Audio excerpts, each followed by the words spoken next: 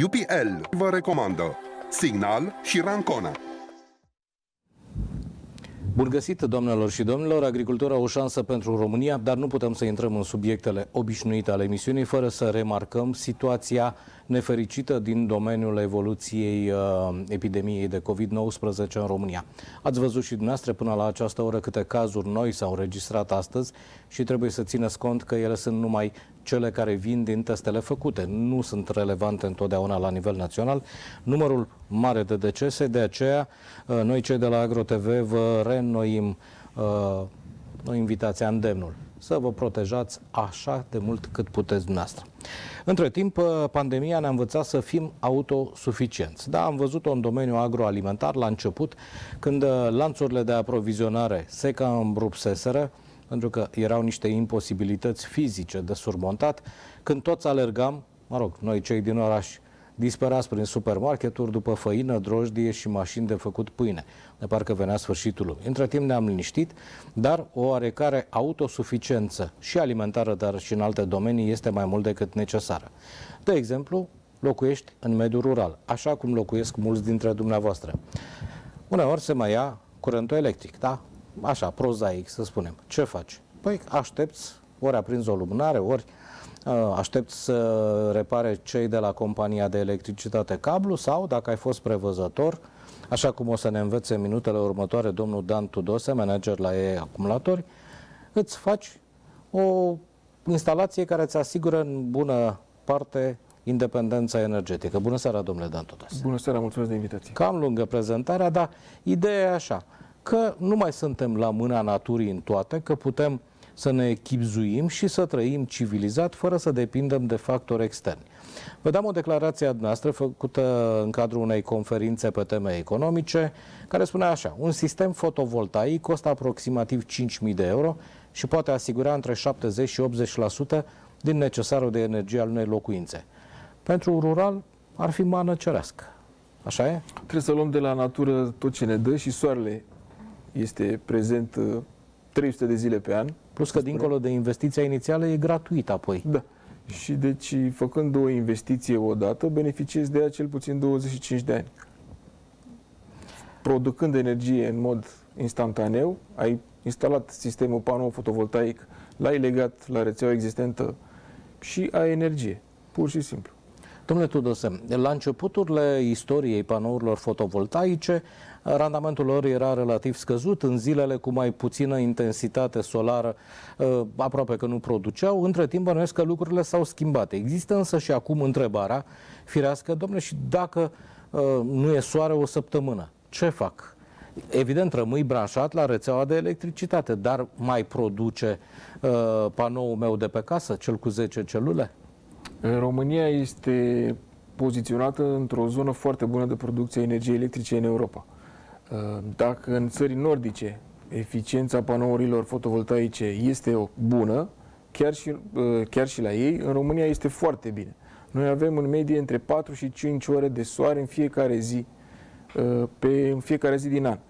Și deci orice sistem fotovoltaic am instalat, oricât de mic ar fi el, între 4 și 5 ore pe zi, Produce. în medie, producem. Da? În lunile de primăvară, vară, toamnă avem uh, surplus și livrăm în rețea, devenim prosumatori, iar în lunile de iarnă, să spunem dacă sunt 2-3 săptămâni de ceață, ploaie sau mă știu eu ce, nu producem.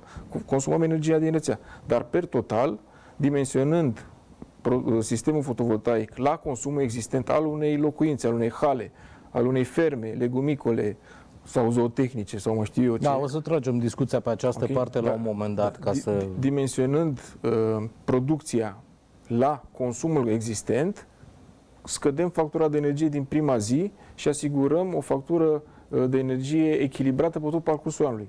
Adică vara produce mai mult, iarna produce mai puțin, dar per total, Media tot e... avem o producție bună de energie de la soare. Domnule Tudose, această valoare estimativă, aproximativ 5.000 de euro, se referă la o gospodărie. E pentru Bineînțeles, o gospodărie. O Care e rata de amortizare? A, e totuși o cheltuială, da? Las la o parte programul guvernamental, o să discutăm de el, dar pare o cheltuială pentru cei de la țară, să spunem, care nu sunt foarte bogați unii dintre ei, 5.000 de euro e o sumă. și pentru mine, nu spun că nu, uh, ea se amortizează în așa fel încât să apuc să o văd până la sfârșitul zilelor mele amortizată sau rămâne și la copii de plătit ceva? Se amortizează în mai puțin de șapte ani. Aha. Orice facem, orice dimensionăm, oricât dimensionăm, în toate scenariile pe care le prezentăm către orice fel de client, fermier, persoană fizică sau persoană juridică, noi așa facem calcule să se amortizeze în mai puțin de șapte ani nu vrem să supradimensionăm, adică și nu să sunt vindem povești. mai multe panouri. Nu sunt povești, e un calcul matematic. E da? un calcul matematic. Fără calcul matematic care se referă la o poziție exactă pe satelit, la uh, înclinația efectiv a acoperișului respectiv. De-aia nu-i bine La- să le punem noi. Da. Dar trebuie ținut cont de niște parametri Da. de funcționare. Da, și deci estimăm în funcție de fiecare amănunt, de unghiul la care le amplasăm, de modelul de panouri, de modelul de echipament electric, de numărul de panouri, cum sunt ele legate până. Deci toate lucrurile astea le luăm în considerare și dăm un document pe care ne bazăm. Adică nu facem o, un calcul în Excel și îl prezentăm. Nu. Ne bazăm pe un document statistic care ia în, legă, în calcul producția uh, din istoricul uh, de pe locația respectivă, punct GPS, de pe punctul ăla, da? cât soare a fost în ultimii 10-15 ani în medie acolo și așa mai departe. Deci luăm toate astea și punem o producție medie. În luna august va, se va produce mai mult sau mai puțin 5-10%, atât și așa mai departe, pe fiecare lună din an și pe fiecare an.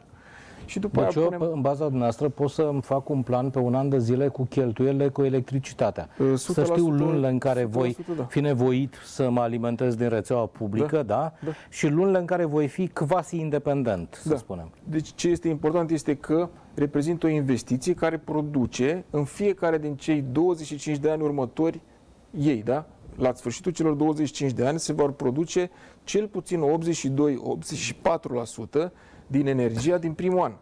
Deci ne bazăm pe un uh, ciclu de 25 de ani, da? L-am instalat azi, el produce astăzi 1 kW, la sfârșitul celor 25 de ani vor produce 840 de W sau 820 de W. A, pierderea e mică de randament, totuși. Cam da? 0,4-0,5% pe an. Și deci versus ce a fost uh, la începuturile istoriei acestea fotovoltaice, avansul tehnologic a crescut atât de mult, da? Cel mai bun producător de acum 3 ani um, avea 22% eficiență, deci dintr-un metru pătrat, Conversia din... Da?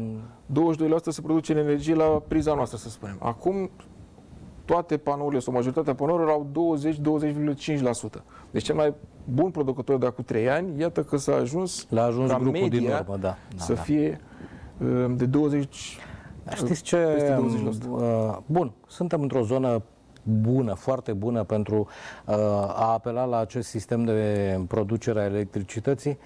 Da, eu stau totuși la țară și mă gândesc că mai bate vântul și mi-aduce praf cam mult. Știți, mai plouă, sunt ploile acelea, acum vin și din Sahara încărcate de praf. Mie că așa o să-mi picteze panourile astea fotovoltaice, de nu o să mai vadă soarele unde sunt ele amplasate, dar mite să și convertească energia solară în electricitate. Ele sunt, uh, celulele sunt acoperite de o sticlă. Adică trebuie să stau pe casă tot timpul cu mopul și laveta? Nu, nu. Doar dacă suntem într-o zonă, într-adevăr, unde trece, înțeles. trec foarte multe au- Cum era la utilaje copșa și, mică, da. și se depune atunci, probabil că odată la 2-3 săptămâni trebuie să te dai Dar în cu- mod normal, În mod nu. normal, apa de ploaie curăță panourile. Efectiv, nu ai nicio problemă. Singurul lucru care afectează panourile este căldură excesivă și pete pe ele, dar nu e cazul. Păi, Căldura excesivă e o problemă, știți de ce? Și în perspectivă, pentru că vedem aceste schimbări climatice duc la schimbarea regimului termic. Da, avem veri mult mai călduroase, cu perioade mult mai mari de caniculă, de uh, temperaturi extreme. Uh, bănuiesc că industria ia în calcul aceste... Panourile funcționează până la plus 80 de grade. Da? Ele deraiază un pic la eficiență peste 60 de grade sau peste 50 de grade. Dar ele funcționează orice ar fi, chiar și la 60-70 de grade, la temperatura de pe ele. Deci, Da? Pierd un pic în eficiență, dar per total doar dar în nu mă mijlocul lasă pe zilei- întuneric, am înțeles. Să Doar în funcționează mijlocul zilei, nu. frigiderul Și în s- continuare. Da, și sunt două sisteme care, dintre care putem alege ca mod de a lucra. Cele care sunt conectate la rețea și funcționează în paralel cu rețeaua electrică existentă, ele furnizează energia către uh, casa noastră, către hala noastră, către uh, ferma Seră, noastră. da, fermă, da. Da?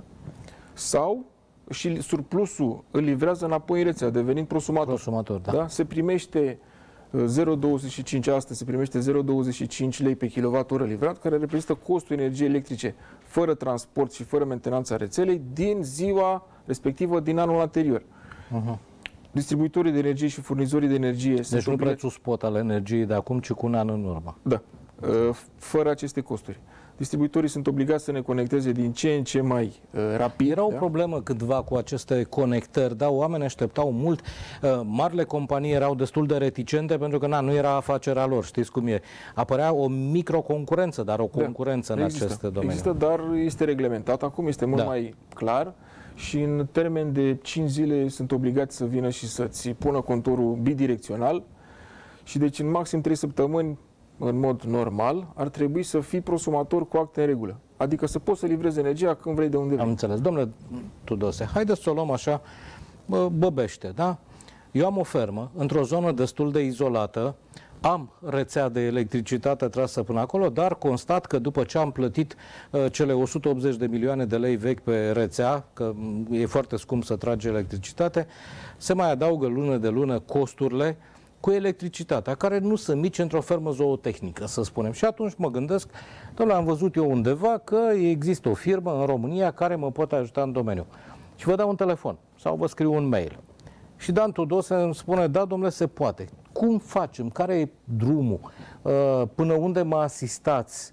Uh, Ce faceți dumneavoastră ma- pentru mine? Adică, în afară de faptul că îmi vindeți niște produse, cum e?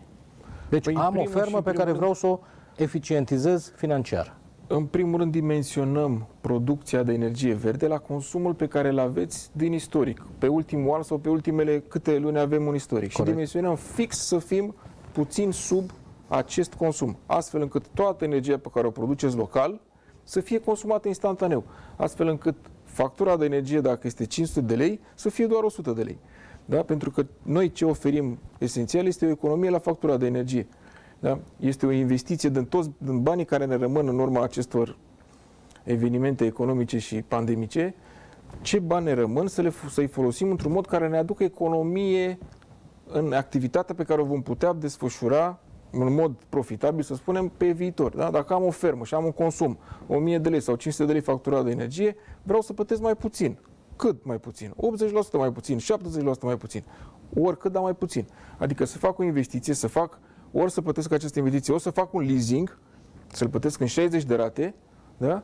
și doar diferența de 2 ani să fie suportată de către mine. Ok? Adică din prima zi eu vreau să fac o economie. Asta Bun. este esența a ceea ce Deci, facem noi. Ați făcut o calibrare a necesarului meu de electricitate, îmi propuneți o soluție tehnică, așa, și mai departe? Că Mai eu departe, mă ocup ziua cu Z. zootehnia, În știți? ziua Z, la prima oră, suntem la dumneavoastră și când plecăm, în a doua zi, Z plus 1, aveți energie verde. Și din ziua Z plus 1 ne ocupăm de toate hârtiile care sunt necesare pentru ca să deveniți prosumator. Știți ce mă întreb? Mi-a spus că îmi dimensionați uh, instalația în așa fel încât să fie puțin sub consumul mediu pe ultima perioadă, dar de ce nu mi-l faceți puțin peste? Ca să acopăr tot și să mai dau și în rețea să-mi rămână. De, de ce e această... Pentru că este cel mai eficient și cel mai economic să-ți dimensionezi la cât consumi tu și pentru că nu ai foarte mulți bani. Pentru că statul nu te ajută tot timpul să-ți dea în plus bani de subvenții da? și pentru că uh, trebuie să fii chipzuit. Da? Cheltui în bani, ok, vrei să faci o economie, dar nu te duci mai mult decât ți-e plac acum. Da? Asta este scopul. Să fii exact cât trebuie ca să fii cel mai, cel, timpul de amortizare să fie cel mai scurt posibil. Altfel, dacă depășești un pic, da? Primești 0,25 da? și nu se amortizează la fel de repede. Da? Mai crește termenul ăsta. În loc de 7 ani sunt 8 ani, sunt 9 ani, sunt 10 ani. Și deja E, aici e o problemă. Vreau să vă întreb în ce măsură sunt, de exemplu, fermierii sau mediul rural receptiv la astfel de uh, tehnologii, pentru că agricultura e un domeniu de risc în România. Oamenii nici nu prea asigură culturile, suntem la cheremul vremii, da, ba plouă, ba e arșiță, uh, și atunci uh, unii ar putea să spună că această investiție e o cheltuială pe care ei nu și-o permit. Adică, la nivel național, firma dumneavoastră are proiecte să fi meritat până acum să țineți firma dincolo de acumulatorii care îi vinde, să spunem, uh, aveți o perspectivă, aveți uh, un target pe viitor, e lumea deschisă spre a-și cumpăra astfel de sisteme care, da, asigură aproape independența energetică, dar cu recuperare în șapte ani, să spunem? Trebuie să privim lucrurile din perspectiva că vrei să devii mai sustenabil, da? Corect. Vrei să nu ar dai drumul la generator sau să uh, pui lemne pe foc ca să produci energie sau mai știu eu ce. Să produci alt CO2 sau să aloci resurse din altă parte ca să-ți produci energie. Cea mai uh, simplă variantă acum este să-ți instalezi fotovoltaice sau eoliană la locul de consum și să-ți o produci. Este în puterea ta, se întâmplă foarte repede, nu aștepți luni de zile de la distribuitorul de energie să ți se întâmple, dai un telefon, și se întâmplă. Și s-a întâmplat, aveți uh, perspective ca afacerea noastră, sigur merge, dar să se dezvolte, adică mă întorc la întrebare. Cât de receptivă sau de reticentă e lumea rurală la astfel de inițiative? Este din ce în ce mai receptivă. Uh, să devii prosumator și să poți să livrezi energie în rețea, începând cu 2019 este mai ușor. Începând cu octombrie 2020, puterea limitată de a veni prosumator a crescut de la 27 de kW cât era până la 30 septembrie, până la 100 de kW de panouri. Deci orice fermă, mai mult sau mai puțin, poate să-și pună un sistem fotovoltaic mai măricel, 100 de kW consum instantaneu și să producă în medie 450 de kW oră pe zi, jumătate de megawatt pe zi la punctul local de consum. Și îți amortizezi investiția și după aceea ea produce. O amortizezi șapte ani, ca mașina. Dar după aceea produce încă uh, 18 ani. Ok? Și produce într-un ritm pe care noi ți-l arătăm și ți-l povestim. Și o să-l vezi că se întâmplă la factura de energie. Deci e o investiție care produce. Sunt puține investiții de ziua de astăzi care produc în fiecare an timp de 25 de ani. Da? Luată la, la uh, costul unei hale sau unei investiții, ce vă spun eu acum, reprezintă 5, 6, 7% aproape nimic. Da? La costul unei case, să spunem, între 70 și 100 de mii de euro. 5 mii de euro aceia sunt între 5 și 7%. Dar ești independent într-o proporție mare. Poți să-ți adaugi stocare. Da? Poți sistemul să-l faci mai flexibil. Poți să spui panouri mai verzi, mai albastre sau să-ți acoperi garajul. Dar, per total, îți acoperi investiția sau îți scoți toți banii de pe investiție în maxim 7 ani. Spuneați că poți să-mi extinzi sistemul folosind uh, unități de stocare. E o idee foarte bună, da? pentru că uh, poate vreau să consum și noaptea și atunci din ce am stocat. Asta presupune evident un cost suplimentar, dar nu intră în cei 5.000 de euro. Îmi trebuie o încăpere dedicată pentru, mă rog, o cămăruță, dar tot îți trebuie. Bateriile acestea mai noi de litiu fier funcționează între minus 20 și plus 60 de grade. E, da, dar nici nu poți să le ții sub gard. Trebuie să fie în niște condiții de păstrare da uh, decente. E interesant ceea ce spuneți dumneavoastră, să sperăm că lumea e, e dispusă să cheltuie. 5.000 de euro pe casă. Mi-a spus că pentru o fermă, tot așa, între 5 și 7% din costul fermei ar reprezenta uh, acest lucru. Cam câte proiecte ați pus pe picioare? Și în felul ăsta vedem cât de receptivă. Avem proiecte în fiecare săptămână. Cât? Avem proiecte în fiecare săptămână. Avem instalații pe care le facem astăzi. Se face o instalație la Ploiești, Uh, săptămâna viitoare se face instalație în județul Alba. Avem proiecte în fiecare săptămână. Bun, sunteți uh, o firmă în dezvoltare. Uh, cea mai mare parte a panourilor fotovoltaice, din câte știu eu, vin precum virusul din China, nu? Uh, sau s-a schimbat ceva? Pentru că Uniunea Europeană și-a arătat la un moment dat dorința de a-și crește independența față de livrările de panouri solare din China. Bun, în China se produce mult uh, mai ieftin decât în alte părți, spunea unii, evident respectând normele CE de calitate europeană, dar nu ne gândim sau s-a schimbat ceva, s-a delocalizat producția? O aducem încoace? Există și producători europeni de panouri fotovoltaice. Noi avem în ofertă și producători europeni de panouri fotovoltaice. Din uh, toată gama existentă pe piață la nivel mondial, noi putem să oferim din orice destinație sau orice proveniență a panourilor. Dacă se dorește, noi discutăm despre eficiența lor și despre costul da, lor și gradul de amor, timpul de amortizare. Există producători europeni, noi suntem în contact cu ei, noi am adus primul panou cu 25 de ani garanție în România, San, nu pot să-i spun numele, dar ok, este. Uh, Cunoaștem Da, în piață spuneți și că putem... vă tăiem factură și nu e nicio problemă. Da. Cunoaștem producătorii și cum sunt ei. Va exista în continuare uh, un uh, increment în puterea care va fi pusă la dispoziție uh, pe piață, adică panourile vor crește în performanță în 2021 și așa mai departe. Sunt noi tehnologii, noi tot timpul suntem la curent cu ce tehnologii se vor lansa pe piață. De exemplu, astăzi noi instalăm panouri fotovoltaice în care fiecare panou este controlat independent. Dacă unul se umbrește, el este oprit și se duce mai departe curentul cu optimizatoare de, de energie pe fiecare dintre panouri.